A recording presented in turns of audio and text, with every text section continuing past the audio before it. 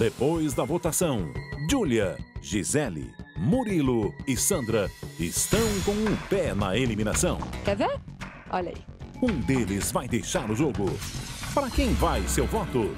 Os três que escaparem da eliminação disputam a prova da virada e formam uma nova zona de risco. Daí pra frente é festival de susto. A grande conquista.